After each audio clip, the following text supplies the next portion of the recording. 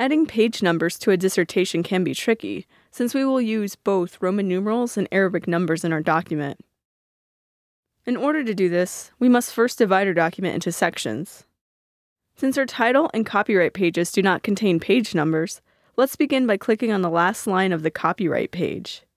First, we will select the Page Layout ribbon at the top of the screen, locate the Page Setup group, and click on Breaks and Next Page. This will create a break between the first two unnumbered pages and the rest of the document. This will also create a blank page in our document, which we can remove by hitting the delete key and not the backspace key until the blank page has been removed. Now, let's locate the beginning of chapter 1 in our document. There it is. We will scroll back up to the page before our chapter 1 starts, click on the last line of that page, and create another break. Again, click Break and Next Page. Just like before, a break has been created as well as a blank page, and we need to press the Delete key to remove the blank page. We now have three sections in our document. Section 1 containing our blank pages, Section 2 containing Roman numerals, and Section 3 containing Arabic numbering.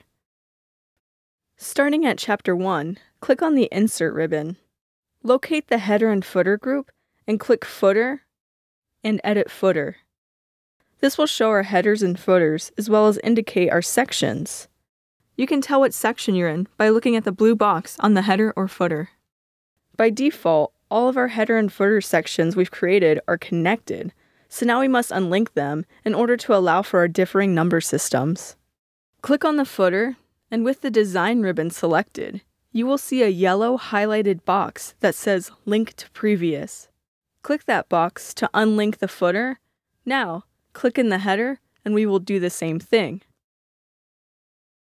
Our section 3 is now unlinked, so let's scroll up a page, which is the last page in section 2, and click in the footer, click the link to previous, and do the same with the header.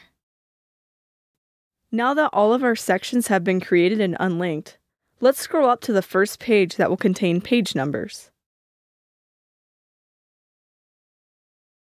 Click in the footer area and then select the Insert ribbon.